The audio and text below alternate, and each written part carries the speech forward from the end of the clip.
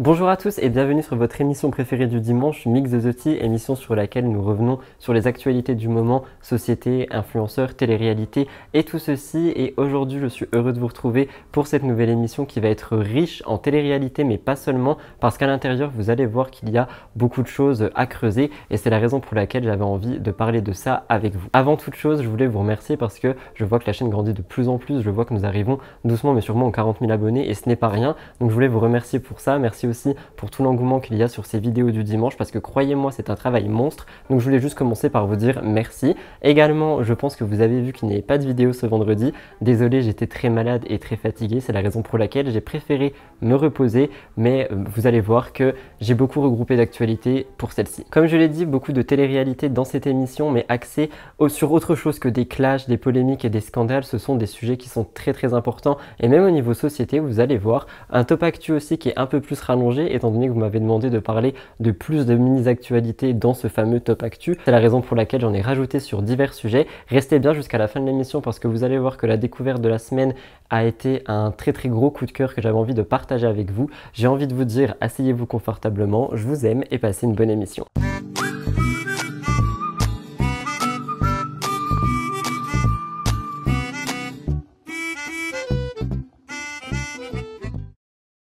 Je voulais donc commencer cette émission avec le retour de Top Actu, un peu plus fun que la semaine dernière. Je voulais vous parler de Vivi Superstar ou Victoria Meo, que vous connaissez certainement. En effet, elle a fait énormément parler la semaine dernière parce qu'elle a été invitée au Energy Music Awards. Ça a beaucoup fait parler sur Instagram, sur Twitter et sur tous les réseaux. Elle s'est dévoilée avec un look un peu iconique en disant throwback sur cette soirée vraiment trop cool et bien sûr mon acolyte de toujours Feriel. La dernière photo est l'endroit où on a été le plus présente dans la soirée. Je vous affiche les photos à l'écran et en fait cette tenue n'a pas forcément plu à tout le monde parce que les internautes, eux, l'ont pas trop aimé. On pouvait voir beaucoup de soutien de la part de ses amis, autres candidats comme Mélanie Dedigama, qui disait que c'était une vraie poupée. Et j'ai envie de dire que ça va prendre dans le bon sens parce que Victoria se sent un peu comme une bratz. Mais les internautes, eux, ont été beaucoup moins tendres avec elle parce qu'on pouvait lire on invite vraiment n'importe qui. Pourquoi le sac est mauve Ça gâche tout. Tout est en plastique chez elle. Elle l'a dit elle-même, le visage dans l'hôtel le matin sur sa story, ce n'est pas la même chose. On dirait poupée de Chucky. Sans chirurgie, t'étais belle, mais maintenant, bof, totalement ridicule cette tenue.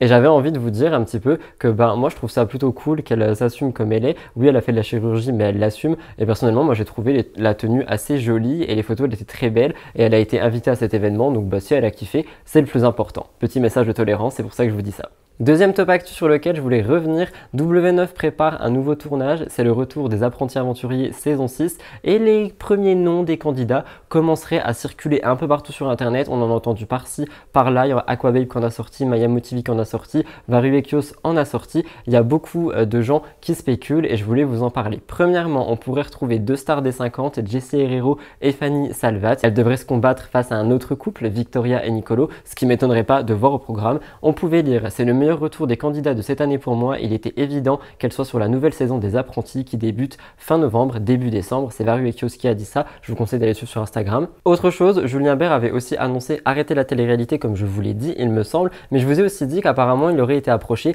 pour participer aux apprentis aventuriers avec Mélanie Dedigama.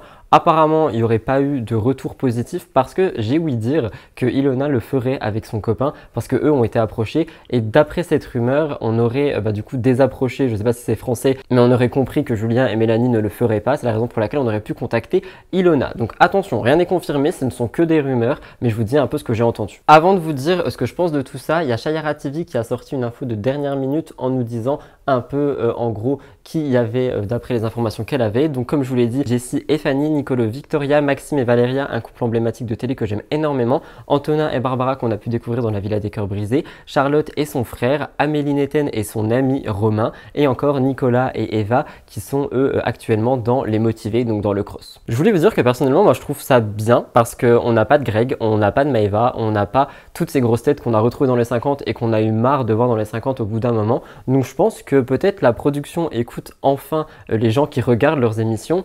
Donc ça peut être pas mal. Par contre, je voulais aussi revenir sur quelque chose, c'est Shahira TV qui a aussi sorti cette information. Apparemment, les épisodes en avance ne sortiront plus sur Salto et euh, bah, en avance. Donc bah, personnellement, je compte arrêter mon abonnement parce que je l'avais principalement pour ça. Je trouve ça dommage, mais apparemment, ça serait dû au fait qu'il y a des choses qui sortent un peu ici et là en avance par rapport aux épisodes. Donc j'ai envie de dire que je comprends, mais que c'est dommage d'avoir euh, annoncé sortir deux épisodes en avance sur cette plateforme pour au final l'enlever. Troisième top actu de cette vidéo, Maeva Genam était récemment en France pour des tournages Dressing VIP ou un film, j'ai oublié le nom, si vous l'avez n'hésitez pas à me le dire dans les commentaires. Mais bref, elle voulait retourner à Dubaï, elle était très heureuse de pouvoir retourner à Dubaï. Malheureusement, petite péripétie, il y a eu, parce qu'elle a choisi d'aller faire des emplettes, donc l'avion est parti sans elle et euh, sa cousine. Elle était au bout de sa vie et elle en a parlé sur Snapchat. Elle disait des choses du style je vais péter les plombs, j'ai raté mon vol, il n'y en a pas avant demain, je vais devoir encore gérer toutes mes valises, ils m'ont même pas appelé. D'habitude, quand je suis en retard, ils m'appellent au téléphone ou à l'interphone. J'ai trouvé ça assez grand en fait de se dire que ça veut dire qu'il y a des gens qui vont appeler Maëva Genam pour lui dire ton avion va décoller, ton avion ci, ton avion ça. Et je trouve que ben, enfin, c'est pas pour tout le monde. Avant d'aller plus loin, écoutez sa version via Snapchat. Il a pas de vol avant demain. Je vais encore avec toutes mes valises et tout. Ils, m'ont même pas appelé au téléphone d'habitude, genre quand je suis en retard, ils m'appellent au téléphone ou ils m'appellent à l'interphone et tout, ils l'ont même pas fait. Et là c'est trop tard, l'avion il va partir. moi j'ai envie de vous poser deux questions. Un, qui appelle les gens pour les prévenir? Et deux, qui fait les boutiques juste avant d'aller prendre un avion? Bref, Maeva avait l'air de s'être calmée, elle est par la suite allée chez Magali Berda d'après ce que j'ai pu voir. Seulement, une vidéo a fuité sur internet et dans cette vidéo, on verrait Maeva qui s'énerve sur euh, une hôtesse de l'air, je ne sais pas trop comment ça s'appelle, une agente du personnel euh, à l'aéroport. Je vous laisse regarder, c'est un peu violent. En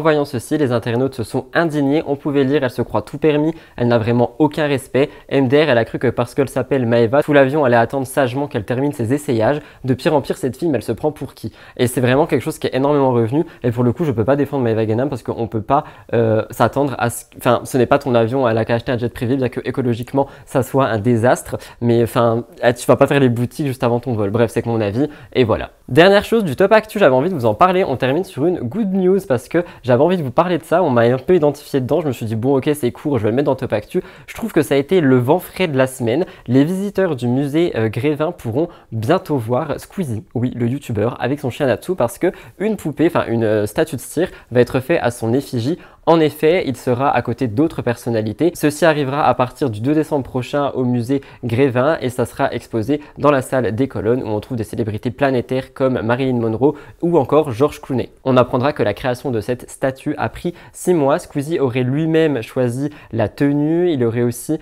euh, choisi bah, comment Natsu est, etc. Et comme vous le voyez avec les photos qui s'affichent à l'écran, bah, on voit que c'est le cas et personnellement moi je trouve ça super fun et je pense que c'est vraiment un énorme accomplissement dans une carrière en fait. Enfin, tu te retrouves au musée Grévin. Je vos avis par rapport à ça et vous allez voir qu'on va reparler de Squeezie un petit peu plus tard.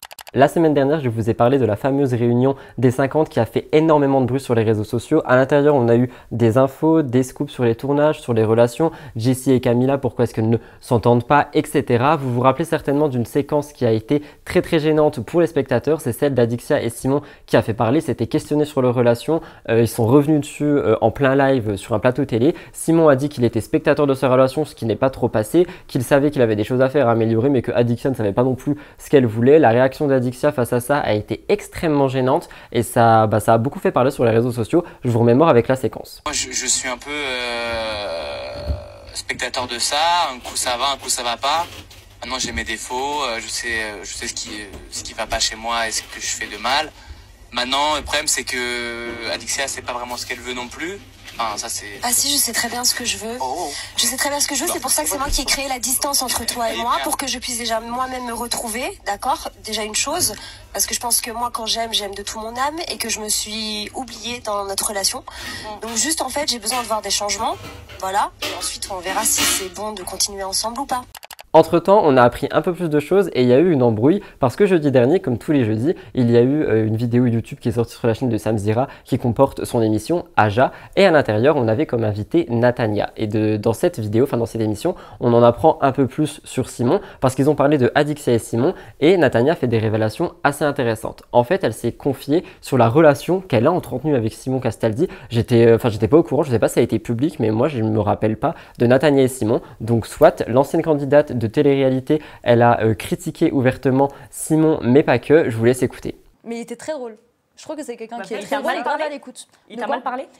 Il m'a mal parlé à moi, il a mal parlé euh, à d'autres gens que j'ai pas apprécié dans le cadre d'un travail. J'ai vraiment pas apprécié ça. Euh, mais tu sais qu'il était genre en mode piqué, genre il m'envoyait des messages genre t'es la femme de ma vie, euh, je veux avoir des enfants avec toi et tout. hein. Genre piqué de chez C'était il y a piqué. combien de temps ça? C'était euh, juste, semaine à- bah, juste avant qu'ils se mettent avec Adixia. D'ailleurs c'est pour ça que je parle plus avec Adixia. On se parle Bon. plus genre.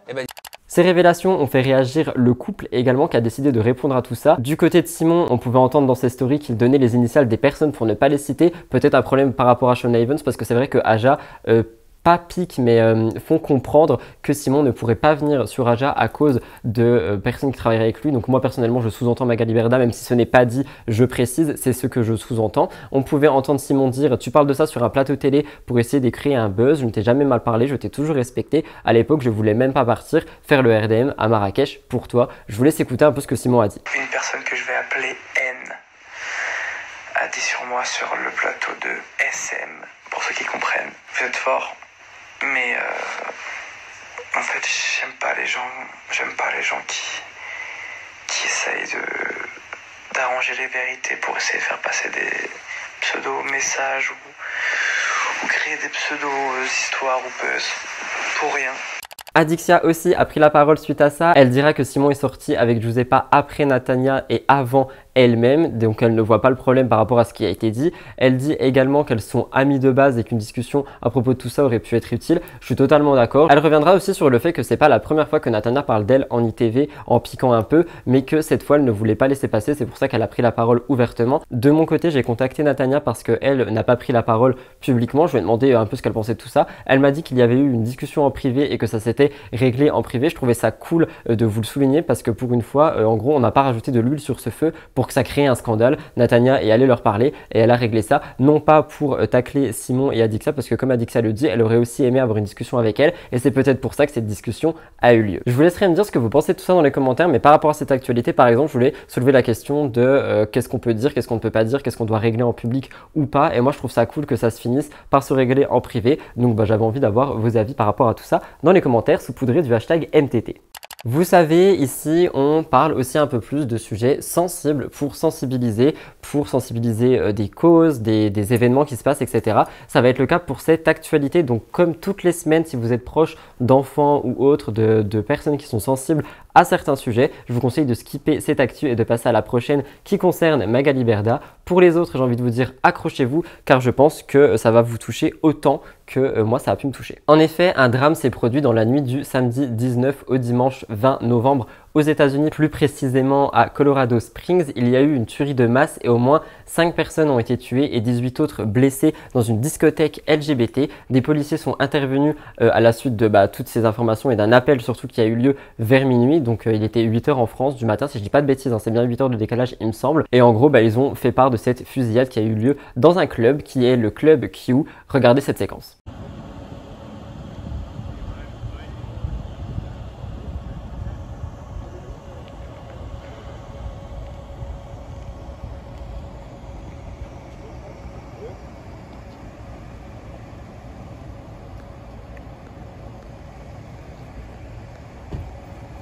Ils auraient déjà trouvé un suspect à l'intérieur de ce club qui serait le seul suspect. Il a été euh, mis en garde à vue, il a été blessé aussi, il faut le souligner. Et le club a décidé de poster un message sur Facebook. Ils diront qu'ils sont absolument choqués, mais ils diront aussi qu'ils remercient les clients héroïques qui ont maîtrisé le tireur et qui ont mis fin à cette attaque haineuse. Nous sommes bouleversés par cette attaque insensée contre notre communauté. C'était une soirée avec toutes sortes d'identités de genre et de style de performance. Et on voit déjà dans ce message qu'on parle euh, d'une attaque haineuse, d'une agression haineuse.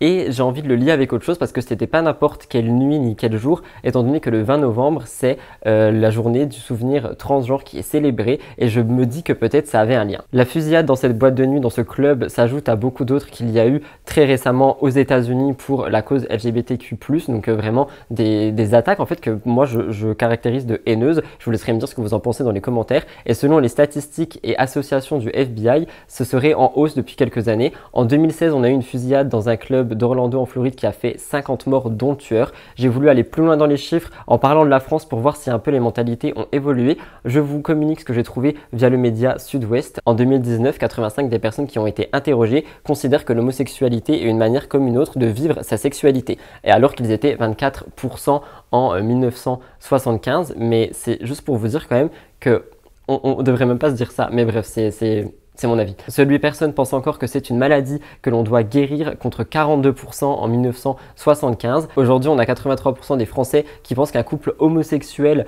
euh, assurer son rôle de parent auprès d'un enfant et j'ai envie de vous dire heureusement. Et il y a une croissance un peu de l'ouverture d'esprit qui se fait mais comme on le voit en 2019 du moins donc je pense pas que ça ait changé en 3 ans mais en 2019 euh, ben il y a une évolution mais pour moi elle n'est pas encore assez bonne et je voulais évidemment envoyer tout mon soutien euh, à ce club etc et à toutes les personnes qui subissent ce genre de choses. Il y aura évidemment des articles pour aller plus loin dans la barre d'infos ainsi que des numéros à appeler vous l'avez vu la semaine dernière, on n'a absolument pas parlé de Magali Berda. Il y a eu plusieurs actualités cette semaine à son propos, donc je voulais revenir dessus. Un peu de contexte pour commencer pour ceux qui ne suivent pas et qui débarquent. Comme vous le savez, elle est la cible de Booba dans sa guerre contre les influx voleurs. Je vous en avais fait part il y a quelques temps du fait qu'elle avait décidé de ne plus se laisser faire. Elle avait posté des stories par rapport à ça. Je vous ai vraiment tout raconté au fil de mes vidéos, donc n'hésitez pas à parcourir la chaîne. Pourtant, cela n'empêche pas euh, les gens de parler d'elle. J'ai plusieurs choses à vous dire. Premièrement, le 19 novembre, elle était de retour dans TPMP People comme chroniqueuse, ça a fait énormément parler. La présence de Magali Berda n'a pas du tout plu aux téléspectateurs, mais aussi aux internautes. Pour eux, celle qui gère Shona Evans et tout ce qui s'ensuit n'a pas sa place sur un plateau. C'est ça, à mon avis, un problème aussi, c'est que ces, ces influx voleurs comme euh, Magali Berda, Maëva Genam, etc., ils sont invités en prime time sur de grosses chaînes de télévision. Donc nous, on est là d'un côté à, combattre, à démontrer que ce sont des, voleurs, et le lendemain, on les voit euh, sur TPMP ou autres euh, en train de prospérer comme si de rien n'était. Sur Twitter, les téléspectateurs n'ont pas hésité à faire part du fait qu'ils n'étaient pas contents à leur manière de revoir Magali sur TPMP. On pouvait lire Magali Berda, c'est vraiment plus possible. On a l'impression que tout ce qui sort de sa bouche, c'est du fake. Cher Cyril Hanouna, je te rappelle que Magali Berda est une escroc. Virez Magali Berda et on vous regardera. Je viens de zapper, je vois cette arnaque de Magali Berda. Vous êtes sérieux. J'ai retrouvé aussi un tweet qui était un peu plus choquant. Dans TPMP People, ils osent encore inviter la menteuse, voleuse, arnaqueuse, escroc professionnelle Magali Berda. Ils sont un peu au courant qu'elle a escroqué un papier de 80 90 ans, cette femme mérite la tôle, rien de moins. J'ai vu que depuis, elle avait encore une fois reparticipé à cette émission, même deux fois si je ne dis pas de bêtises. Je voulais avoir votre avis par rapport à ça. Personnellement, je pense que les condamnations qu'il y a et qu'il va y avoir n'ont pas interféré dans le travail. Malheureusement, c'est un travail médiatique, donc c'est vrai que bah, chacun va donner son avis. Donc moi, je voulais avoir le vôtre, celui de ma communauté, dans les commentaires. Je voulais savoir ce que vous pensez à peu près, euh, enfin par rapport à tout ça, et je voulais vraiment euh, avoir euh, vos avis par rapport à tout ça. Est-ce que selon vous, les actualités autour d'elle et Shona Evans devraient l'empêcher de travailler en tant que chroniqueuse Je ne sais pas, j'attends votre avis dans les commentaires. Autre chose s'est passé parce que euh, a décidé de la critiquer ouvertement via un live. En fait, il y a eu un, space sur Twitter, il me semble. Je sais même pas si c'est un live, mais en gros, je crois que c'est des petits salons où tu peux parler, échanger, etc. Mais parler en audio, peut-être en vidéo, etc. Il y avait aussi Booba et Aurélien Taché euh, dans, ce, dans ce space, en fait. Et lors de ce space, ils sont revenus sur différentes arnaques euh, par rapport aux influenceurs, etc. Moundir s'en est pris principalement à Magali Berda parce qu'il est, il est aussi en guerre avec elle. Je vous rappelle que il présentait euh, bah, Moudir les apprentis aventuriers avant que ça soit Laurent, et il l'appelle les influenceurs les influx menteurs, contrairement à Booba qui lui les appelle les influx voleurs. Elle en a eu marre, elle a décidé de prendre la parole en story, elle a décidé de bah, tacler Moundir. Je voulais vous laisser écouter un peu ce qui se passe. Je crois que je vous ai fait un petit magnéto. Je vous l'affiche. Il faut pas parler. D'abord, un, ce ne sont pas des influenceurs, ce sont des voleurs. C'est ce qu'on appelle de la cybercriminalité. Moi, euh, je me suis intéressé à ça parce que d'abord j'étais légitime parce que j'étais, euh, je suis animateur euh, de divertissement dans le cadre de la télé-réalité, donc tous ces candidats, je les connais pratiquement tous. Voilà, donc je viens de vous poster le tweet du ministre de l'économie Bruno Le Maire qui rappelle effectivement que c'est une pratique commerciale trompeuse de ne pas prévenir le consommateur que euh, nous sommes payés pour faire la promotion d'un produit euh, et qu'on doit l'indiquer au consommateur. Euh, quand j'ai monté l'agence en 2016, j'ai fait passer, enfin je me suis renseignée en fait parce que c'est vrai que c'était très flou savais pas vraiment ce qu'il fallait faire, pas faire. Et je vous parle de ça en 2016. Hein. Donc, je me suis rendue à la RPP. Euh, la RPP, je leur ai demandé qu'est-ce que je dois faire, etc. etc. Ils m'ont dit, bah, c'est un petit peu les mêmes règles que la publicité. Donc, on doit prévenir le consommateur. Ils m'ont répondu. Euh, donc, c'est comme ça qu'est né. Euh, enfin, c'est comme ça qu'est né. Non, c'est pas comme ça qu'est né. C'est comme ça que moi, dans mon agence, j'ai demandé aux influenceurs de mettre les hashtags sponsorisés sur chaque promotion. À l'intérieur, vous voyez que euh, Magali euh, revendique le fait que maintenant il y a tout le temps le hashtag sponsorisé et que tout ceci est affiché au grand jour. Vous savez aussi que je suis quelqu'un de franc et que quand il y a des choses qui ne me plaisent pas ou des choses euh, qui méritent d'être partagées, je vous le dis également. Et pour ce cas, je voulais vous reparler de Vivi Superstar ou Victoria Meo parce que quelques heures après les stories, elle a fait un placement sur son compte Instagram. Comme vous le verrez à l'écran, j'ai plusieurs captures. Le hashtag sponsorisé apparaît seulement au dernier slide. Il n'y a pas la mention en story en haut euh, vers son pseudo partenariat rémunéré. Je vous en ai parlé il y a quelques semaines, les choses vont changer au niveau juridique et ce, d'après ce que j'ai entendu, vers été 2023. Pour le moment, ce sont quand même des petites choses à rectifier, ce sont des petites choses à, dire, je trouve. Donc euh, je, je sais pas, euh, si on veut vraiment redorer l'image de l'agence, je pense que ça aussi devrait être encadré et vérifié. C'était mon avis. Dernier point sur Magali Berda, il s'est encore passé quelque chose avec Booba. Booba va être convoqué par la justice pour être entendu dans l'affaire de cyberharcèlement dont euh, Magali se dit victime. Selon les informations du Parisien, le rappeur va être questionné le 29 novembre par les gendarmes de l'Office central de lutte contre les crimes contre l'humanité et les crimes en ligne, donc vraiment un pôle qui euh, gère ce genre euh, bah, d'affaires. En juin, il y a une enquête qui a été ouverte sur menaces de mort, harcèlement pour un moyen de communication électronique, injures publiques, etc. Et il y a eu des plaintes déposées de la part de Magali Berda. Elle se dit la cible de milliers de messages d'harcèlement, comme je vous l'ai déjà dit, d'insultes, de menaces et tout ça. Personnellement, j'en ai lu, donc je peux vous dire que c'est vrai. Je rappelle aussi que le 20 octobre dernier, il y a eu 13 personnes accusées de cyberharcèlement à l'encontre de Magali Berda qui ont été interpellées dans toute la France. 12 d'entre elles, 11 hommes et une femme, vont être renvoyées devant le tribunal euh, correctionnel de Paris en 2023. Et c'est ce que j'essaye de vous dire en fait quand je vous parle d'elle, c'est que, enfin, faut vraiment scinder. Je suis en communication avec, je suis en communication, ça se dit, oui, ça se dit. Je suis en communication avec l'être humain, pas la gérante de Shona Evans. Là, par exemple, ce que je vous parle des stories de Victoria et tout, je trouve que c'est problématique après tout ce qu'on sait et après le fait de dire euh, de, vraiment vouloir avancer dans les choses, etc. Peut y avoir encore des petites couacs et des petits, des petits trucs comme ça, des petits pépins. Je dis pas le contraire, mais je trouve ça gros parce que j'ai trouvé le hashtag que à la fin et on sait tous pourquoi on fait ça. C'est pour montrer qu'on partage quelque chose et ensuite te dire tu peux l'acheter là. Et au fait, c'était euh, un placement, tu vois. Donc ça, je le trouve dommage, mais je différencie vraiment tout et j'ai rien contre l'être humain. Mais c'est vrai que je trouve ça dommage et que quand on, enfin, si on veut vraiment avancer par rapport à tout ça, je pense qu'on peut s'en donner les moyens beaucoup plus. Mais après, est-ce que ça n'a pas été fait? Est-ce que les choses n'ont pas été dites? Mais juste maintenant, c'est les influenceurs qui n'écoutent pas. Encore une fois, à qui revient cette responsabilité? Je voulais vous parler de ça parce qu'on m'a identifié dessus, j'ai pas trop compris donc je vais me permettre de beaucoup lire mes notes, mes notes qui ont été tirées d'un article qui sera évidemment dans la barre d'infos, mais on a vu qu'il y a eu un nouveau lancement, le lancement du serveur Minecraft d'Inoxtag, un youtubeur et streamer qui s'appelle OneCube. Et à l'intérieur, Fanta a fait une brève pour Vive ou VV France. Je précise que Fanta n'est pas euh, la marque de boisson, parce que personnellement, quand j'ai fait mes recherches au début, je croyais, je comprenais pas trop, mais c'est un streamer. Donc euh, voilà, Fanta est un streamer. Ça a beaucoup été critiqué, notamment par Squeezie. Je vous ai dit qu'on allait reparler de lui, donc je voulais un peu vous en parler. Pour contexte, le créateur Inoxtag a dévoilé son nouveau serveur euh, Minecraft OneCube. Il a donc convié beaucoup d'autres confrères à se joindre à lui pour une soirée de lancement. Il y a eu deux vidéastes qui ont été aussi conviés. Ils sont assez connus dans le monde de Minecraft. Il s'agit de Bob et Fanta. Sauf que Fanta a été pointé du doigt parce qu'il a profité de ce live pour prendre une feuille et brandir un message où c'est écrit Vive ou VV France, une plateforme de NFT. Bob est en convention, mais on va accueillir ce soir deux invités, Fanta et Bob, pour jouer avec nous. Ça a été un court instant, mais ça a été critiqué par tout le monde. J'ai pas envie de revenir sur les NFT, tout ça, c'est tout des trucs que je comprends absolument pas. J'ai pas la science, j'arrive pas à m'intéresser à ça et à essayer de comprendre. Donc, euh, je vous mettrai pareil des articles dans la barre d'infos si jamais vous voulez un peu plus d'informations par rapport aux NFT. Mais moi, c'est pas un truc que j'arrive à comprendre. Tout ce que je sais, c'est que c'est un placement d'argent. Il me semble, hein, si je dis des bêtises, c'est pas le moment de me crier dessus. Bref, Squeezie et Gotaga ont aussi réagi à ça. Gotaga a relayé une capture d'écran Discord qui a sauté sur Twitter, dans laquelle Fanta est pointé du doigt pour sa publicité et un certain manque d'intégrité sur le live suivi par de très très jeunes personnes et c'est vrai. Il dira s'il a été payé en plus, GG à toi parce que nous on y va en tant que pote. Et c'est vrai que ça a été déjà critiqué parce que euh, bah, les NFT sont critiqués, mais en plus de ça tu fais une pub sur le live de quelqu'un d'autre qui lance un nouveau projet, donc tu sais qu'il va y avoir énormément de gens et tu ne préviens pas. Parce que si c'était un truc organisé, genre vas-y, euh, bah, comme ils font beaucoup, tu vois, tu mets des placements en Tsum Tsum un peu organisés entre amis, pourquoi pas, mais là ça a vraiment été une pub placée de manière vicieuse et ça n'a pas vraiment plu en fait du tout. Là, à un moment, il fait une dédicace. Moi, j'ai pas compris. J'avais pas, pas ce que c'était le truc. Euh, parce que moi, je pensais qu'il faisait une dédicace à, je sais pas, un petit neveu ou j'en sais rien, tu vois, genre euh, qui est fan d'Inox et tu vois, un truc mignon. Donc, euh, je laisse passer, tu vois, machin, etc. Et puis après, plus tard, on dit qu'en fait, c'est un truc de crypto et tout, tu vois, c'est un peu bizarre. En gros, pour ceux qui n'ont pas suivi, Fanta, il a pris un papier, tu vois, il a noté un truc dessus. c'est comme si tu mettais pornhub.com dessus, tu vois, entre guillemets. Bon, j'abuse, mais c'est pour que vous ayez l'image, pour ceux qui sont pas trop dans, dans, dans les NFT, dans les machins.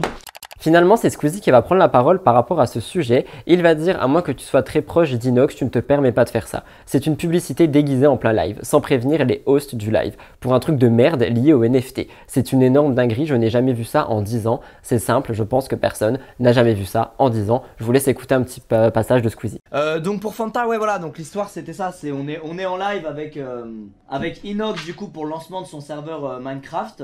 Et lui, euh, il, a, il a grandi euh, devant euh, les vidéos de Fanta et Bob et c'était un méga fan de Minecraft Inox. D'ailleurs, il est vachement fort à Minecraft. Donc il les a invités pour live parce que bah voilà, il a fait un high five à son lui enfant. Et puis en plein live, hors contexte, sans raison, il y a Fanta qui sort une feuille avec dessus marqué un truc, tu vois et il la monte comme ça, il, est un peu gêné, un peu fier à la fois. Et donc nous, il y a un blanc, tu vois, on le regarde. Inox fait ah ok la pub euh, pas mal, euh, tu sais, il réagit bien, il fait haha. Et Fanta il dit non, c'était une dédicace pour un pote. Enfin, il dit un truc, tu vois. Et on est tous là genre oula, très bizarre ce move. À moins que tu sois très proche d'Inox, tu, tu te permets pas de, de, de faire ça quoi.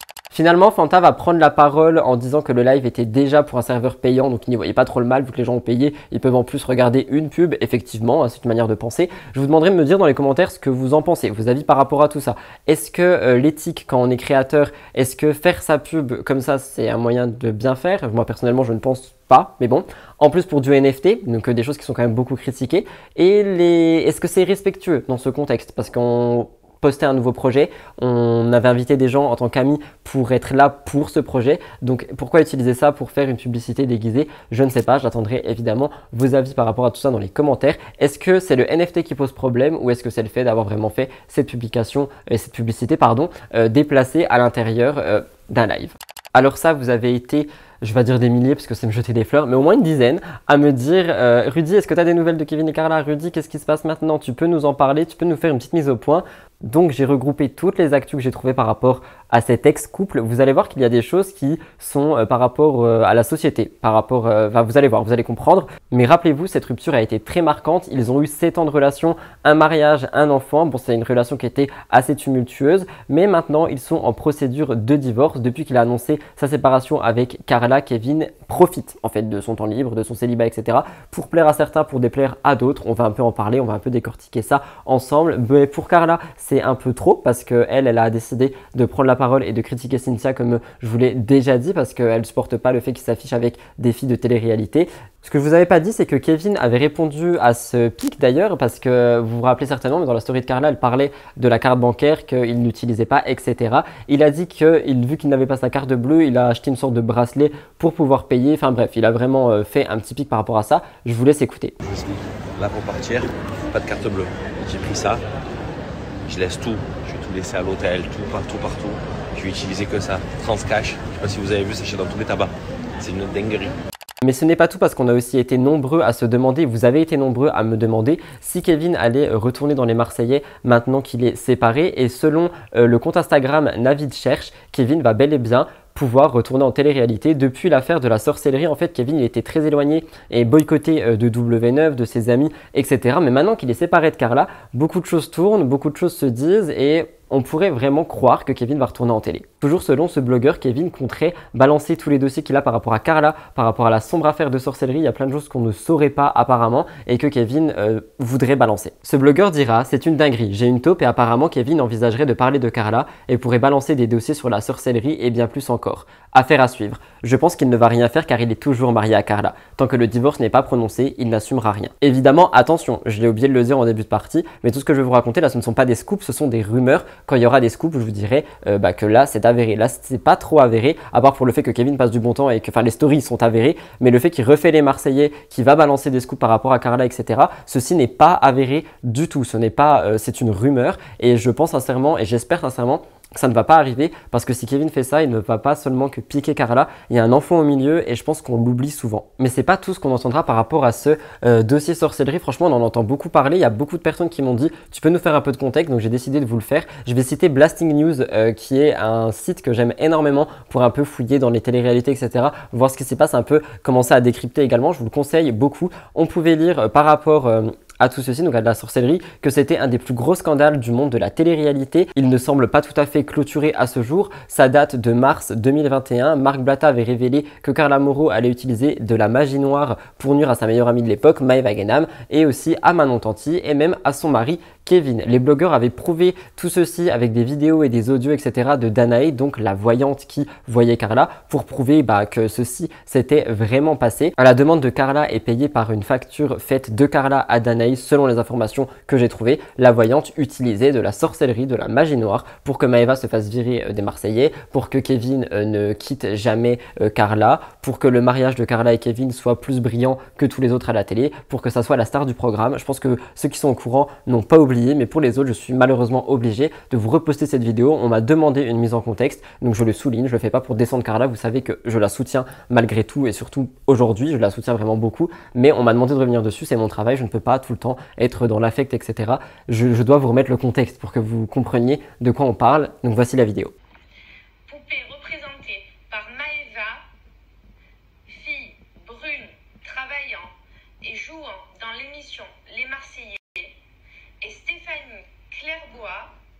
Fille blonde, jeune, ayant participé avec les Marseillais et le reste du monde. Je mets deux pics sur Maeva. Maeva, tu seras complètement bloqué et tu seras viré des programmes de W9 et les Marseillais et tu ne participeras pas au nouveau tournage Les Marseillais.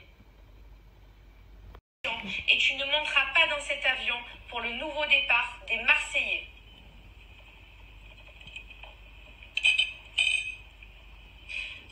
pour Stéphanie Clairblois. Stéphanie, je t'interdis de participer à toute émission sur les Marseillais, les Marseillais contre le reste du monde. Moundir, tu ne partiras pas avec Kevin.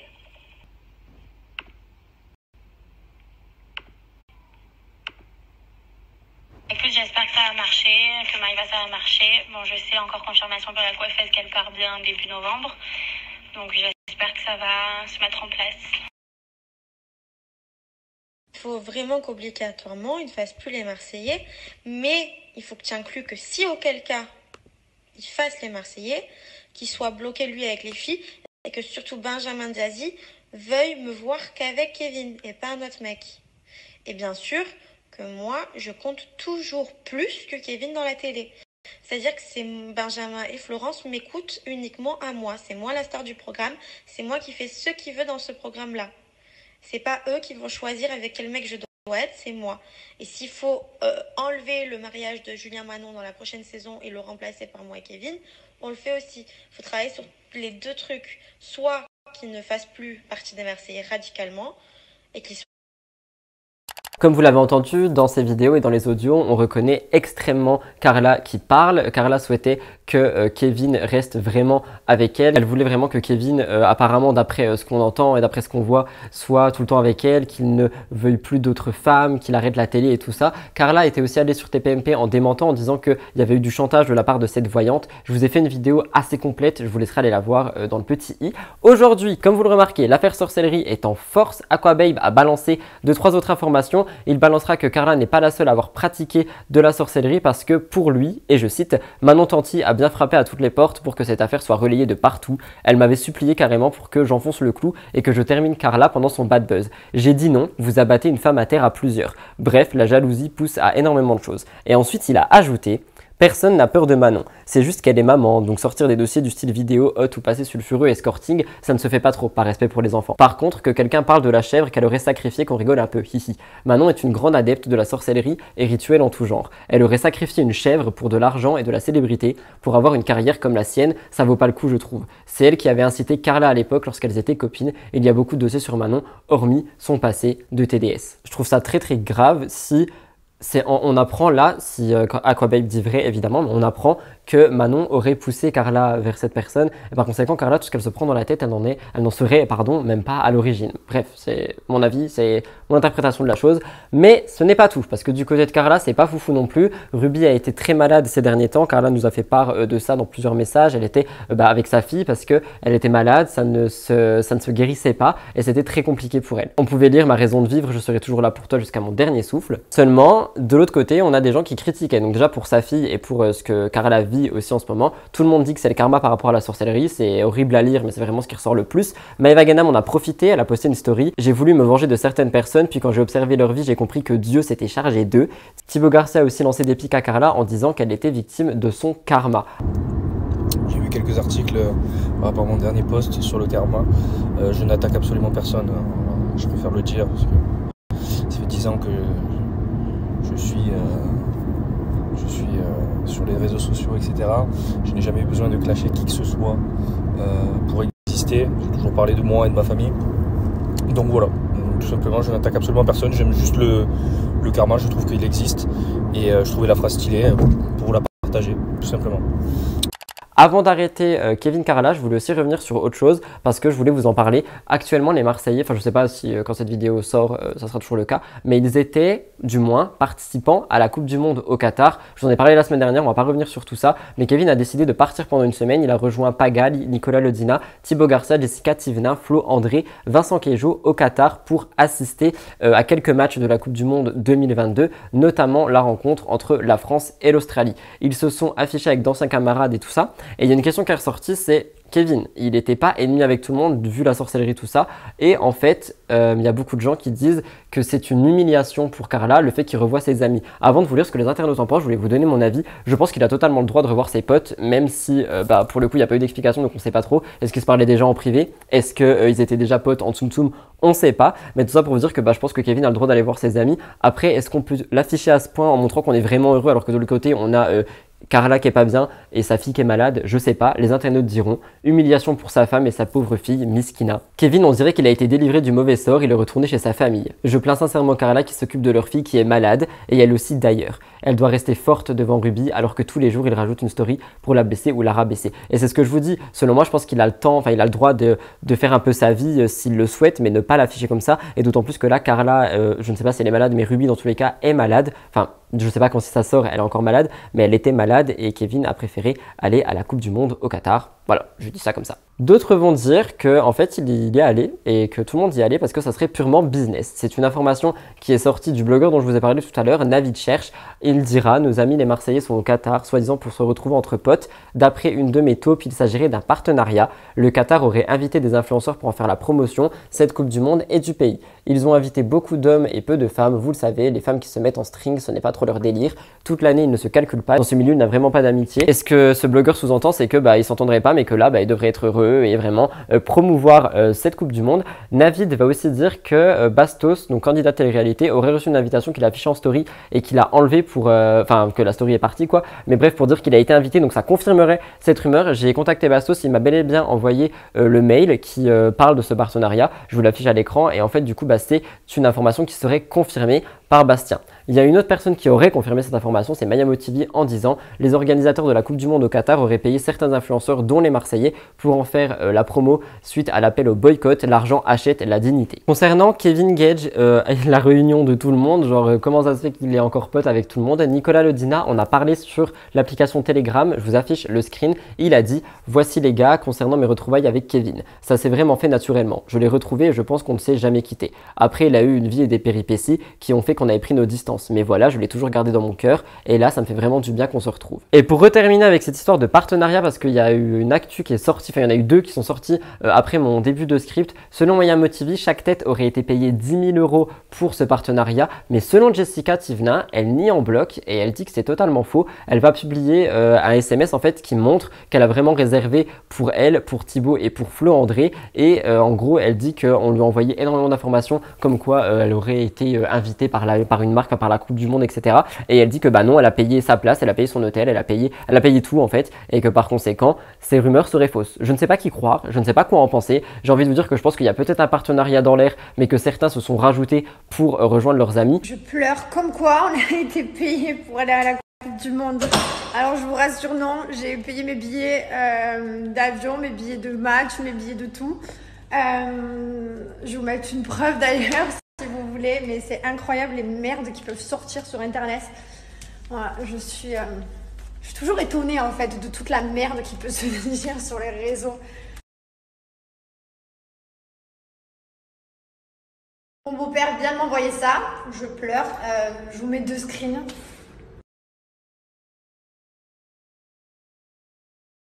Ce screen là, c'est le billet d'avion qu'on a payé donc pour mon mari, Flo et euh, nous et hum, le père de Flo, je crois. En fait, c'est nous qui avons payé. En fait, je vous explique, c'est carrément nous qui avons payé les vols et Flo a payé les billets et après on s'est arrangé. Bref, on s'est tous remboursés, il n'y a pas de souci. Mais en soi, c'est Flo qui avait les billets, nous qui avons pris les vols et euh. Et dernier point qui s'est encore rajouté, Carla Moreau participerait à la prochaine saison de La Villa des Cœurs Brisés avec Lucie Mariotti. Elle l'aurait en effet déjà contacté parce qu'elle se parlerait en off pour euh, voir s'il était possible de l'intégrer au tournage de la prochaine saison pour parler de ses problèmes de couple, etc. Et je pense sincèrement que si ça se fait, ça peut être très beau à voir. Je ne sais pas ce que vous en pensez. Je vous laisserai me dire ça dans les commentaires. J'ai vraiment hâte si c'est le cas. Finalement, Maya Motivi prendra la parole en story en nous disant et expliquant qu'il y aurait bien des personnes qui auraient été payées pour faire euh, la promotion de cette Coupe du Monde. Je vous laisse écouter ce petit magnéto. Alors je vous rassure, non, j'ai payé mes billets euh, d'avion, mes billets de match, mes billets de tout. Euh, A few moments later. Il y a même des influenceurs euh, euh, anglais, il y a même euh, du Moyen-Orient, etc. ici. Et on est là pour promouvoir Saoudi. Et il y, a pas mal de choses elle continuera par dire Ma source m'a encore confirmé qu'ils ont été payés. C'est un pack qui comprend logement, billets de match, nourriture, visite et rémunération. Leur rémunération dépend de leur nombre d'abonnés. Le but est de faire la promotion du Qatar et certains pays du Moyen-Orient parce que la Coupe du Monde a fait énormément polémique et par les influenceurs, ils essayent de redorer leurs images. En vrai, il n'y a aucun mal à ce que les Marseillais soient payés. C'est leur taf d'influencer leurs abonnés. J'ai pas compris pourquoi la boostiflore de Dubaï s'est forcée à mentir. Oh, dis juste que t'étais pas invité, fin.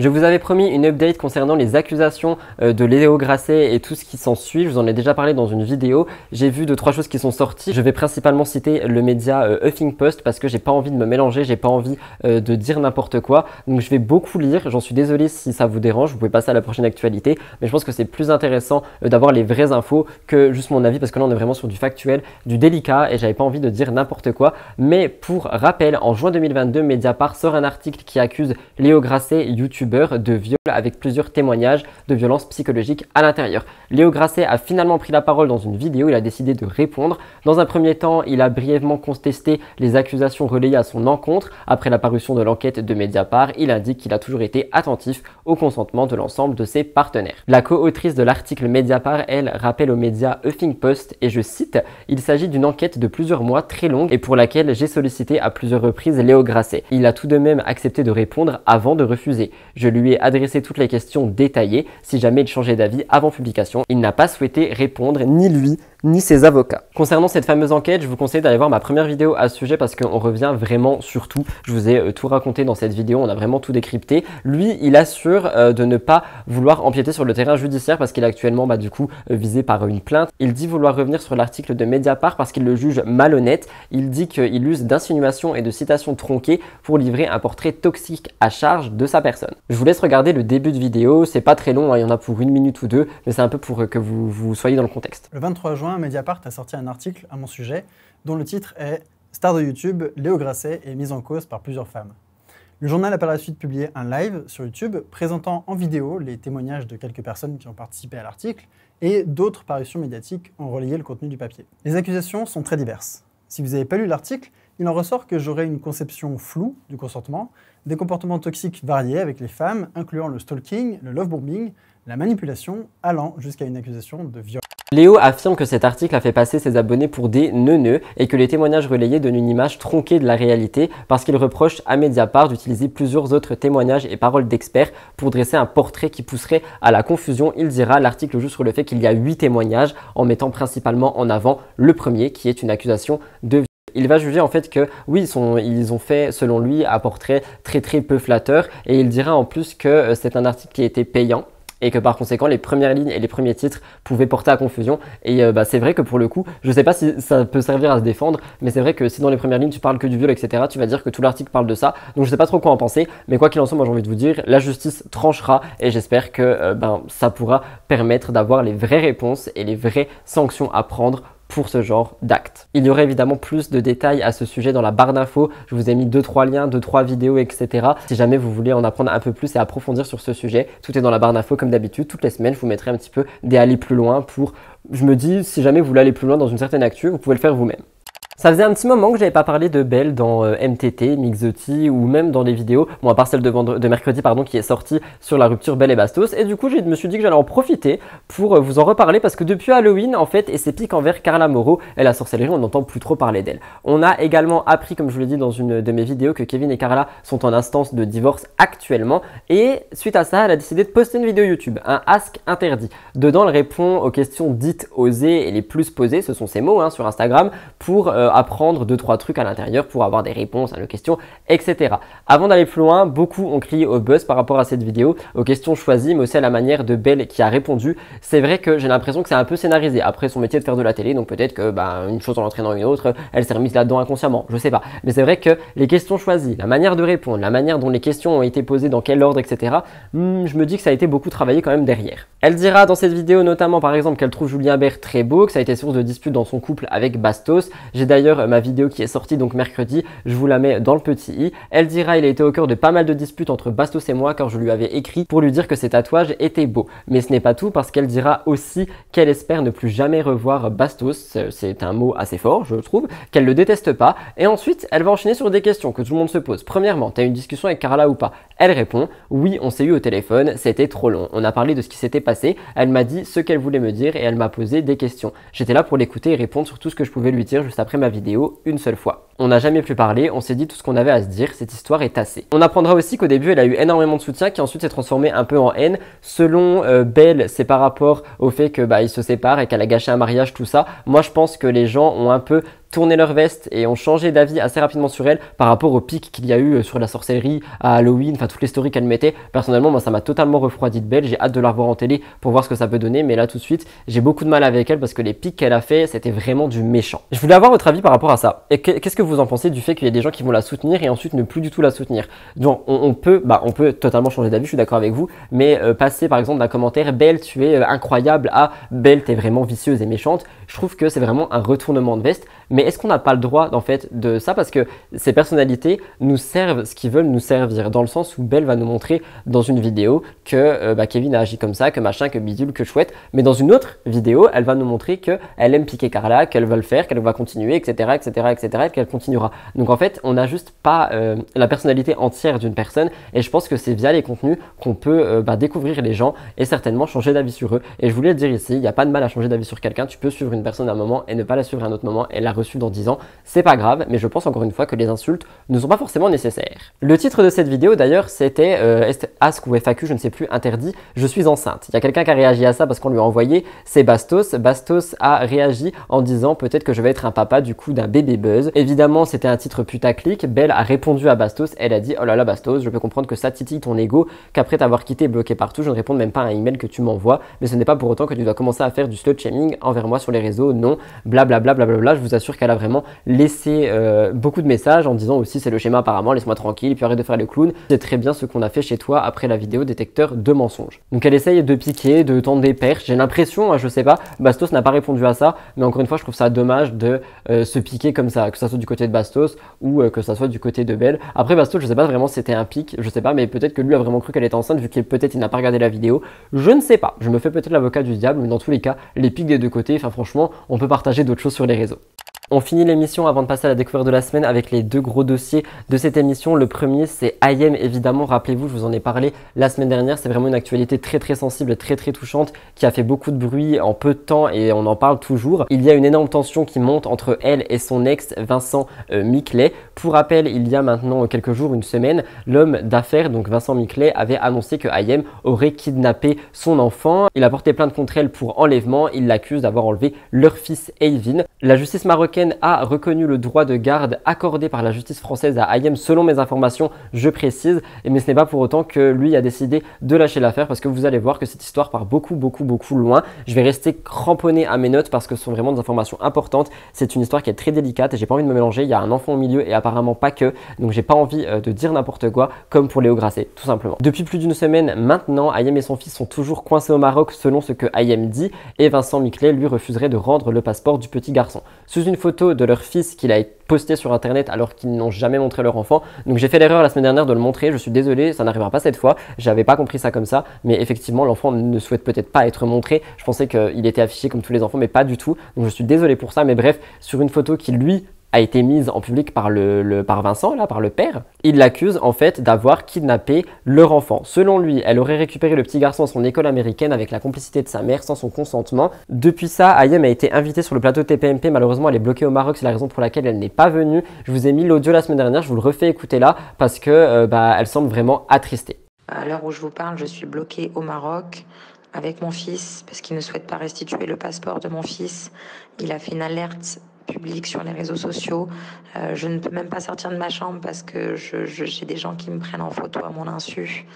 Euh, c'est un cauchemar, je vis un cauchemar. Je suis enfermée dans ma chambre euh, là avec le petit depuis qu'il a fait ce, ce, post sur Instagram. Je suis en panique, j'ai peur qu'on me prenne en photo, qu'on qui débarque, qui qu'on en vienne aux mains. Enfin, je, je, je sais pas, je sais plus. C'est très compliqué. Les lois ici ne sont pas les mêmes.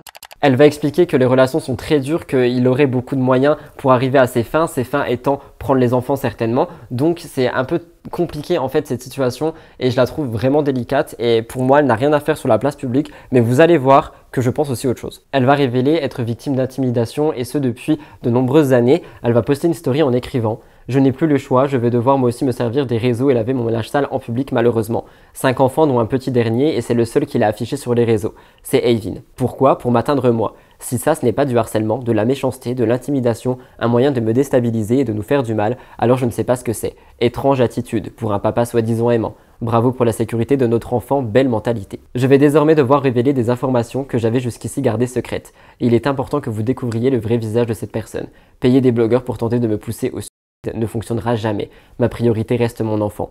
Tout cela n'a rien à voir avec l'enfant, mais bien une volonté de me nuire. Ce sont des mots très durs qui ont été accompagnés d'une photo qui aurait été prise en 2016 où elle dit qu'elle va tout nous annoncer, une photo où on voit sur son cou des marques de griffures. Enfin, c'est vraiment une histoire très délicate qui... Euh, mérite d'être en justice. Malheureusement, on voit que Ayem a peur, mais j'ai envie de vous dire que je suis d'accord sur le fait que ça ne devrait pas être en public, mais on l'a vu avec Britney Spears, parfois, euh, crier à l'aide publiquement, c'est le seul moyen qu'on a, et j'ai l'impression que c'est le seul moyen qu'Ayem a pour crier à l'aide, nous donner des nouvelles, qu'on sache un peu euh, ce qu'elle fait, où elle en est, si elle va bien. Il y a eu des rumeurs comme quoi elle aurait été frappée, il y a des rumeurs comme quoi euh, Vincent Miclet, lui, ne cherche que le buzz. C'est Jinta qu'on a parlé sur, sur Aja, pardon, en disant qu'il avait mis un hashtag Cyril Hanouna sur la photo où il a mis le fils, peut-être pour être invité, que lui veut se médiatiser. Je ne sais pas trop quoi en penser, c'est vraiment une affaire très délicate. Je voulais envoyer tout mon soutien à Ayem Nour, elle ne passera certainement pas par ici, mais je voulais envoyer tout mon soutien et je voulais aussi vous dire de euh, faire attention au contenu que vous consommez parce que c'est quelque chose qui va, je pense, prendre encore plus d'ampleur et qui va avoir des révélations pas forcément joyeuses. Et je me dis qu'il faut faire attention avec ce qu'on partage parce que par exemple la photo, elle peut être très choquante pour des gens. Donc voilà, enfin bref, c'est vraiment mon avis, c'est très délicat. Il y a un enfant au milieu de cette histoire. On dirait qu'il y a une recherche de buzz médiatique et de l'autre côté, une recherche d'aide profonde. Donc je ne sais pas trop quoi en penser et quoi vous dire de plus? J'attendrai évidemment vos avis euh, dans les commentaires. Cette histoire me touche particulièrement, mais euh, voilà, j'attendrai vos avis dans les commentaires par rapport à cette actu. Dernier dossier, celui-là il est pas fun, mais euh, vous m'avez beaucoup identifié dedans. J'essaye de relancer un peu euh, le mood parce que là j'étais un peu hors mood. Il y a eu beaucoup de rebondissements qui se sont passés depuis l'histoire Ilan Samzira, euh, Ilan qui dit que Samzira l'a poussé au suicide, etc. Et surtout cette semaine, vous avez été des dizaines pardon, à m'écrire partout, à me taguer pour que je vous descripte tout ça. C'est alors ce qu'on va faire. Remontons un peu dans le temps. le vendredi 28 octobre, le candidat de télé-réalité Ilan Castronovo a posté différents messages sur ses réseaux sociaux, stories, des messages de détresse où il laissait penser euh, qu'il s'était suicidé. On rappelle qu'il a un passé extrêmement particulier euh, avec euh, la justice, il a beaucoup d'accusations d'agression sexuelle sur des jeunes femmes, plein de, choses dans le genre et dans une story Instagram, il a exprimé son dégoût et s'est attaqué particulièrement à Samzira. Cette story a d'ailleurs été mise en TikTok, on va en parler. Pour vous remémorer un peu, voici ce qu'il disait par rapport aux stories je mets un gros guillemet, il l'a dit, j'ai eu une sacrée vie, mais toute bonne chose ont une fin, aucune personne ne peut savoir ce que ça signifie d'être accusé à tort de quelque chose que tu n'as pas fait. Et il a accusé Samzira d'être euh, à, l'origine de tout ça via ses interviews, etc. Parce qu'il associait tout le temps son nom à agression sexuelle et que pour Ilan, Samzira est à l'origine de l'acte que Ilan aurait fait. Il a écrit Samzira, ça fait des années que tu me salis, t'associer mon nom à agression sexuelle, tu me pousses au suicide Maintenant, tu as gagné. Je vous avais fait un short par rapport à cette actu. Pour ceux qui souhaitent aller le voir, bah, il sera euh, sur ma chaîne. Il est aussi en réel. C'est parti un peu plus loin parce que rappelez-vous, il y a eu le fameux Aja où euh, Sam bah, était euh, en live sur Aja et il y a eu une vidéo Facebook sur la page Sam Zira qui est sortie où on parlait bah, de tout ça, de Ilan, etc. Donc Ilan a pris ça comme un coup de poignard et vraiment tapé quelqu'un à terre. Sam de son côté a dit qu'il n'avait pas vérifié le contenu qu'allait sortir et qu'il a une équipe qui s'occupe de ça. Malheureusement, ça a été très mal géré, j'ai l'impression. Donc Ilan, malheureusement, a aussi été touché par ça et on a profité pour faire deux vidéos TikTok. Je ne minimise absolument pas la douleur, je le remets ici parce que je ne l'ai pas précisé la première fois, mais il y a eu une nouvelle euh, règle sur TikTok. Pour certains créateurs, tu peux toucher de l'argent via un millier de vues. Selon ce qui se dit, ça sera environ 1 euro le millier de vues. Comme vous le voyez à l'écran, ces vidéos ont fait énormément de vues et j'ai envie de vous dire pourquoi ne pas les avoir mises ailleurs, je ne sais pas. Et c'est quelque chose qui est beaucoup ressorti, comme quoi il essaierait vraiment à chaque fois de refaire des vidéos par-dessus pour euh, bah, se faire de l'argent parce qu'il le dit lui-même qu'il est en manque d'argent, il l'a dit sur TPM après, attention, pour moi, les larmes sont pas fausses, donc je sais pas trop quoi en penser. Il y a 16 heures, avec tout ce qui s'est passé, il y a 16 heures, Samzira, il a encore posté, encore posté un truc me concernant. Je suis fatigué. Samzira, je vais te le dire, regarde. Laisse-moi tranquille. Je, je suis pas bien. Je, je suis un être humain. Tout ce que j'ai vécu depuis un an, je suis malheureux, je suis pas bien, il faut me laisser tranquille.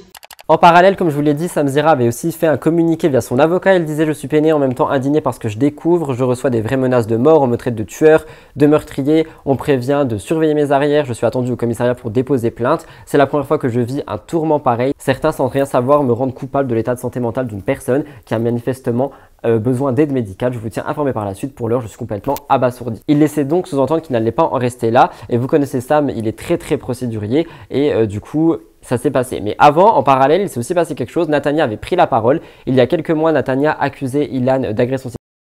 Elle, il se serait masturbé à côté d'elle, devant elle, pardon, sans son consentement. Elle avait été euh, porté plainte par rapport à ça. Elle avait dit que Magali Berda était au courant mais n'avait rien fait. Bref, c'était tout. Amélie Milo. Apparemment, elle n'aurait pas été encouragée euh, à en parler, mais finalement, ça a été fait. Et via une story euh, FAQ, on lui a demandé qu'est-ce qu'elle pensait du fait que Ilan avait été innocenté. Et elle a dit, il n'a jamais été innocenté. J'attends encore le rendu de justice pour tout vous expliquer avec les bons termes et surtout sans barrer les infos compromettantes. Nous laissant comprendre que ce n'était pas fini. C'est pas terminé. Le 22 novembre au soir, c'est là l'actu. Ilan a posté une nouvelle story qui renvoyait sur TikTok, argent ou pas, comme je vous en ai parlé. Il écrira, et je cite, vous vous rappelez que quand j'avais un mauvais pressentiment, j'étais choqué. Aujourd'hui, je vous explique, Samzira m'attaque en justice. Non, mais je rêve. Le harcèlement ne s'arrêtera donc jamais. En dessous, on voit un sticker qui renvoie à TikTok. Comme je vous l'ai expliqué, c'est un peu euh, bizarre, je trouve, parce qu'après, il a remis ses stories sur Instagram. Donc, je sais pas, il y a beaucoup de gens qui vont encore crier au fait qu'ils cherchent pardon, à faire de l'argent par rapport à ça. Avant de vous le faire écouter, dans cette vidéo, il reviendra sur euh, beaucoup de choses, sur tout ça, mais il donnerait une information capitale parce qu'il va dire qu'il s'est carrément arrêté de conduire tellement c'était choquant, parce qu'il venait de recevoir l'information que Avait réclamé 23 000 euros pour euh, dommages et intérêts par rapport à Ilan. Il l'aurait attaqué en justice a posté donc ce TikTok que je vous laisse écouter. Je vous dis la vérité, j'ai pas les mots. J'étais en train de conduire, je me suis arrêté sur le côté de la route pour pouvoir marcher et, parce que je suis incapable de, conduire là, tellement je suis outré. Ma mère, elle a porté plainte il y a quelques semaines contre Samzira parce qu'à chaque fois qu'il fait un interview, qu'il reçoit quelqu'un et que je suis sali dans ses vidéos, elle reçoit des menaces de mort. Elle allait voir un médecin tellement ma mère, ça la rend malade. Et le mec m'attaque en justice et me demande 23 000 euros de dommages et intérêts. Je craque, j'en peux plus. Ça veut dire, ça veut dire, imaginez, je suis mort. C'est mon cercueil qui va au tribunal?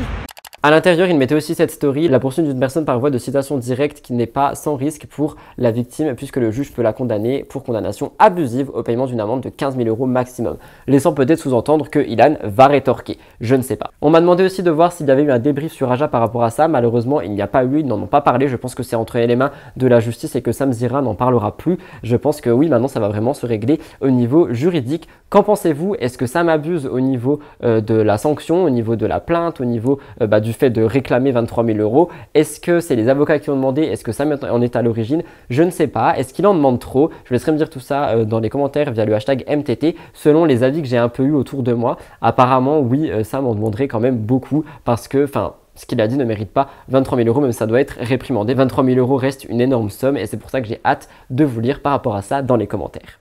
On peut enfin passer à la découverte de la semaine et pour celle-ci j'avais envie de vous parler un peu à cœur ouvert étant donné que j'ai pas fait de notes en fait. Je voulais revenir sur la dernière vidéo de Aline Dessine qui est une FAQ mais à l'intérieur elle nous fait euh, une annonce très très troublante très très triste et euh, surtout enfin qui m'a beaucoup touché. J'ai envie de revenir sur ça avec vous donc euh, j'ai pas de notes, ça va être du pur cœur mais elle nous explique en gros à l'intérieur à la fin de sa vidéo. Je vous laisserai aller voir hein, pour que ça soit plus parlant, que ça soit dit avec ses mots et que vous ayez l'émotion qui est transmise dans cette vidéo. Mais tout ça pour vous dire, transmise pardon, tout ça pour vous dire qu'elle a fait une annonce qui a été très très bouleversante je trouve. Elle nous a annoncé que durant ces dernières années elle n'allait pas bien du tout suite à beaucoup de choses dont l'harcèlement qu'elle a subi via un procès qui, je le précise, a été euh, terminé. Enfin, il y a eu un verdict, donc il ne devrait plus y avoir d'harcèlement à ce jour euh, publiquement, vu qu'il y a eu le verdict. Les gens harcèlent généralement pour avoir des réponses. Les réponses sont là, donc il faudra arrêter. Et en fait, moi, je voulais vous parler de ça parce que on se rend pas compte de, ce que provoquer des messages haineux, de l'harcèlement, de,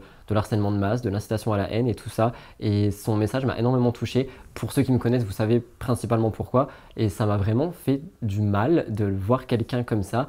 Et je me suis dit, que ça peut aller tellement vite et tellement loin pour pour juste des messages ou des, des trucs dans, dans, le genre, en fait, vraiment, oui, de, de cet harcèlement, cet acharnement, et j'ai vraiment envie de donner mon soutien à Aline par rapport à ça. J'ai vraiment envie que ma communauté aille donner mon soutien à Aline par rapport à ça. Donc c'est Aline Dessine partout. Allez lui envoyer de l'amour. Je suis déjà en contact avec elle. Hein. Si jamais on me dit que je fais ça pour la voir dans mes contacts, j'en sais rien. Stop. Genre j'essaie juste de faire passer un message que la honte doit changer de camp. La honte ne doit pas être dans euh, le camp de ceux qui se sont fait harceler, peu importe les raisons, peu importe que l'erreur que tu as pu faire. Parce que pour le cas d'Aline, il y a eu une erreur. Et je pense que ça a malheureusement joué dans cet acharnement et cet harcèlement mais peu importe l'erreur et les choses que tu as faites, les, choses qui ont été jugées et, qui sont cause et raison pour certaines personnes d'harcèlement et d'acharnement ne doivent pas, enfin ça, ne devrait pas exister. La honte ne devrait pas être dans le camp de ceux qui se font harceler parce que euh, oui mais t'as fait ça, oui mais t'as fait ça. Non, la honte est dans, dans le camp de ceux qui ne s'arrêtent pas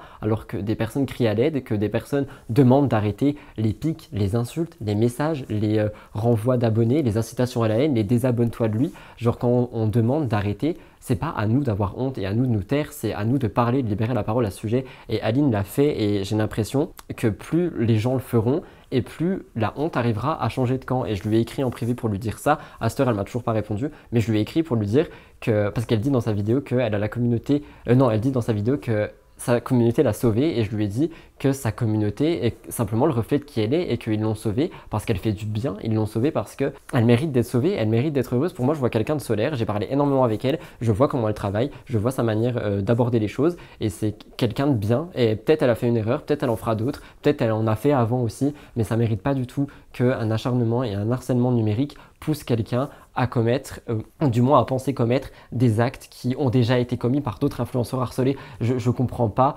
comment est-ce qu'on peut se dire, je prends mon exemple à moi, mais on peut pas dire à quelqu'un, toi tu as fait ça, ça, ça, ça, et l'afficher publiquement. Tu peux le faire une fois, ok, vas-y, dis ce que tu as à dire, c'est cool, mais quand on te demande d'arrêter et qu'on te dit que ça te blesse, que tu es obligé de faire des vidéos pour expliquer, comme Aline par exemple, que tu es obligé de tout le temps te justifier sur tout ça parce que ça s'arrête jamais, parce que bah, une fois que c'est lancé, c'est lancé, parce que les stories sont reprises sur YouTube, parce que tout ça, eh ben, c'est très compliqué en fait. Et toi, en tant qu'être, tu es là, mais c'est de ma faute, je suis coupable, en fait les gens me détestent parce que j'ai fait ça et parce que... Mais non, non, pas du tout. Euh, stop, la honte doit changer de camp, on a fait nos erreurs et euh, j'ai envie de vous dire que on les a assumées et qu'on s'est excusé et qu'à partir du moment où on dit stop, ça blesse, ça peut aller loin, ça peut provoquer des choses graves, la honte devrait être dans le camp de ceux qui continuent. Et c'est pour ça que j'avais envie de vous parler de cette découverte de la semaine. C'est la vidéo d'Aline et le message qu'elle y a à l'intérieur, la libération de la parole par rapport à tout ça. Et je lui envoie tout mon soutien, je lui envoie tout mon amour. Et j'espère que vous le ferez aussi. N'hésitez pas à aller sur son contenu et mettre des cœurs violets ou peu importe pour euh, montrer que euh, vous venez d'ici. Parce que moi aussi, je vais le voir, je, veux le voir. Je veux voir s'il y a des gens de ma communauté qui vont faire ça. Et s'il vous plaît, allez lui donner de l'amour. Genre vraiment, allez lui donner de l'amour. Elle m'a fait pleurer. Elle m'a fait transmettre une émotion que j'ai jamais reçue via une vidéo YouTube. Et je pense sincèrement que je voulais vous le partager tout simplement. Je pense sincèrement que c'est une bonne personne et je pense que personne, dans tous les cas, ne mérite cet acharnement, cet harcèlement, au même titre que Magali Berda, selon moi, ne le mérite pas. Quand il y a des choses qui peuvent se régler euh, juridiquement, quoi que ce soit, aller se prendre des insultes toute la journée, euh, des euh, t'es un voleur, t'es une arnaque, t'es un machin, t'es un bidule, tout ça, non, genre vraiment, c'est plus possible. Et ça blesse des gens et ça peut aller très loin, comme vous l'avez vu et comme vous le verrez si vous allez regarder la vidéo d'Aline. Donc euh, voilà, c'était mon message de soutien par rapport à, Aline Dessine et euh, par rapport à tout ça. Et euh, voilà, j'avais envie de revenir un peu dessus. Vous savez que c'est des causes qui me touchent énormément, acharnement, harcèlement en ligne, etc. Et je l'ai moi-même fait, enfin, je veux dire, je l'ai moi-même provoqué certainement via les vidéos que je pouvais faire avant. Et qu'est-ce que je m'en veux? Mais en fait, on, va venir te dire que tu es hypocrite parce que bah, tu as fait ça avant et que tu n'as pas le droit d'évoluer. Mais si, heureusement, et tant mieux, parce que si j'étais la même personne que j'étais avant, enfin, euh, ça me dégoûterait encore plus de moi, tu vois. Enfin, la personne que j'étais correspond pas du tout aux valeurs que j'ai aujourd'hui, mais j'étais pas bien dans ma peau et j'étais pas bien dans ma vie. Peut-être que je cherchais juste à me venger euh, dans mon contenu ou j'en sais rien. Ce que moi j'ai subi, ce que Aline Dessine a subi et subit encore aujourd'hui, ce que Magali Berda subit quotidiennement et plein d'autres créateurs et créatrices n'est pas mérité. Et euh, je suis désolé, mais j'avais envie de le souligner ici et de vous faire un message par rapport à ça. Voilà tout le monde, émission très riche, très forte, très euh, oui très forte émotionnellement. Là je vous avoue que la découverte de la semaine vient de me vider. Le fait de parler de ce genre de choses, de revivre euh, ben, mes souvenirs, de revivre le passage de la vidéo d'Aline, de, revivre tous ces trucs, je vous assure que ça remue et c'est vraiment compliqué. Mais bref, je vais m'arrêter là pour cette émission. J'espère sincèrement qu'elle a pu vous plaire. N'hésitez pas à exploser le compteur de like. On voit mon micro sur le canapé, je m'en fous, c'est la fin, j'ai envie de vous dire. Je vous aime d'amour, merci pour tout votre soutien, votre fidélité et votre amour aussi parce que dernièrement c'était pas le top top dans ma vie et vous avez été là donc merci beaucoup pour ça. Évidemment je vous le rendrai, vous le savez très bien. Je vous aime d'amour. Merci d'avoir regardé l'émission jusqu'ici. N'oubliez pas, je crois que je l'ai déjà dit mais au cas où de liker, commenter avec le hashtag MTT. Abonnez-vous juste en dessous. Je fais plein de gros bisous. Je vous retrouve demain pour un épisode de Spill the Tea ou sinon à dimanche prochain pour Mix the Tea.